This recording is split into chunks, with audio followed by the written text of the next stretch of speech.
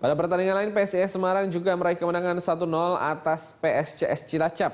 Julio Alcorce mencetak gol tunggal PSIS di laga tersebut. Mendapat dukungan ribuan fans yang memadati Stadion Jatidiri, PSIS Semarang tampil dominan di kedua babak. Namun strategi pemain depan yang diturunkan oleh pelatih PSIS Julio Alcorce tampak kesulitan menembus pertahanan PSIS yang dikawal Dedi Susanto dan kawan-kawan.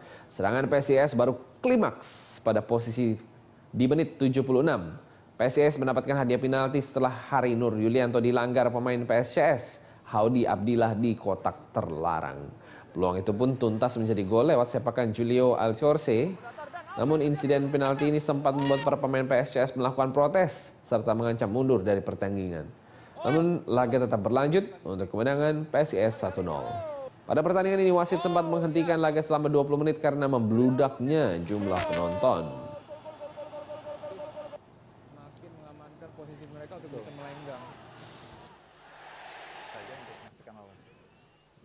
Ayo kita saksikan. Oh.